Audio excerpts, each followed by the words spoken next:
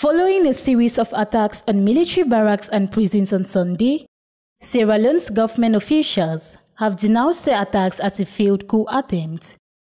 According to Information Minister Shane and the Chief of the Defense Staff, Lieutenant General Patrick Lavahun, who addressed reporters during a news conference on Tuesday, the efforts to overthrow the government were led mostly by bodyguards of former Sierra Leone President Ernest Bai Koroma.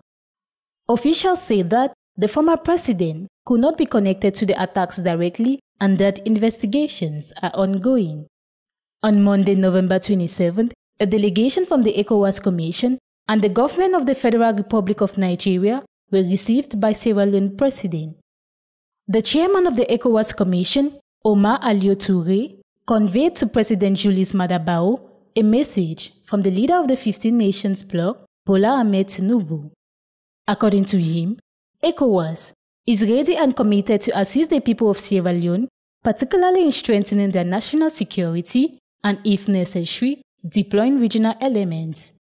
The ECOWAS visit, an apparent show of solidarity with the Sierra Leonean government, follows a deadly attack that rocked the capital Freetown on Sunday.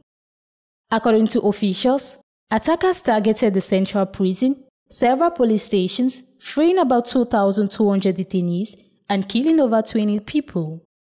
13 military officers and a civilian have been arrested following the incident, with an addition of two dozen people, including five army majors and two captains, being placed on a wanted list.